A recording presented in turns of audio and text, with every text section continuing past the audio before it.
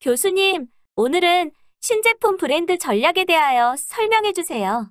네, 브랜드 전략은 다양하지만 핵심적인 전략은 신제품 브랜드 전략, 브랜드 콘셉트 및 작명 방법, 그리고 브랜드 리뉴얼, repositioning, rebranding으로 구분할 수 있습니다. 이번 시간에는 그 중에서 신제품 브랜드 전략에 대하여 설명하겠습니다. 신제품을 출시할 때 새로운 브랜드를 개발할 것인지 기존 브랜드를 그대로 사용할 것인지를 결정하여야 합니다.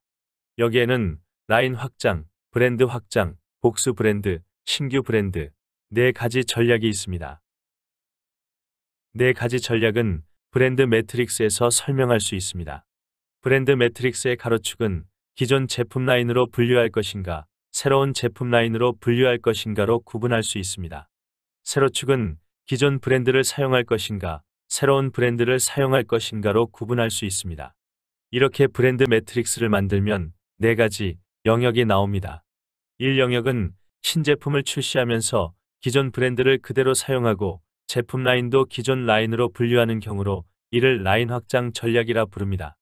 이 영역은 신제품을 출시하면서 기존 브랜드를 사용하되 신규 제품 라인으로 분류하는 경우로 이를 브랜드 확장 전략이라 부릅니다. 3 영역은 신제품을 출시하면서 기존 제품 라인으로 분류하되 신규 브랜드를 사용하는 경우로 이를 복수 브랜드 전략이라 부릅니다.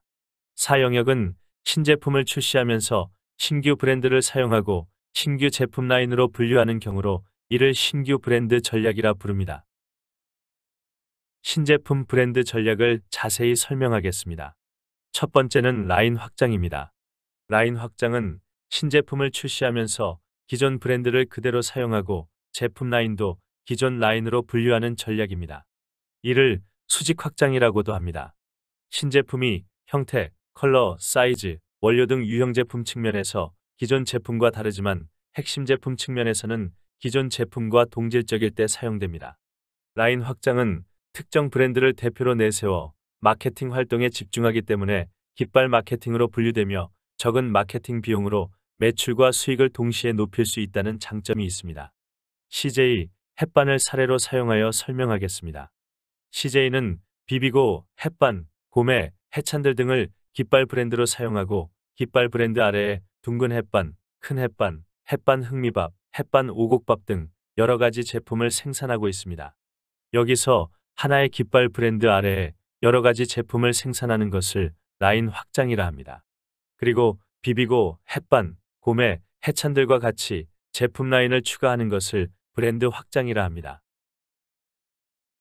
두 번째는 브랜드 확장입니다. 브랜드 확장은 신제품을 출시하면서 기존 브랜드를 부착하고 제품 라인은 새롭게 분류하는 전략입니다. 이를 카테고리 확장, 수평 확장이라고도 합니다. 신제품을 많이 출시하더라도 기존 브랜드의 높은 인지도를 활용하고자 하거나 기존 브랜드의 인지도를 지속적으로 높이고자 할 때 사용합니다. 기존 브랜드를 사용하면 기존 브랜드의 후광 효과를 통해 소비자들이 빠르게 인지하고 수용되므로 마케팅 비용을 경감할 수 있으며 기존 브랜드에 많은 신제품을 추가하면 기존 브랜드의 인지도는 더욱 향상될 수 있습니다. 대상 주식회사의 사례로 설명하겠습니다. 대상 주식회사의 식품 브랜드 청정원은 1996년 출시 이후 많은 신제품을 개발하였습니다. 청정원이라는 브랜드를 사용하면서 청정원 순창, 청정원 안주야, 청정원 햇살 담은 이라는 새로운 제품 라인을 추가하였습니다. 이와 같이 신제품을 생산하면서 청정원이라는 기존 브랜드를 사용하고 새로운 제품 라인을 추가하는 것을 브랜드 확장이라 합니다. 그리고 청정원 순창 브랜드 아래에 불타는 매운 고추장, 태양초 덜 매운 집된장 등과 같이 신제품을 생산하는 것을 라인 확장이라고 합니다. 이와 같이 기존 브랜드를 사용하면 후광 효과가 나타납니다.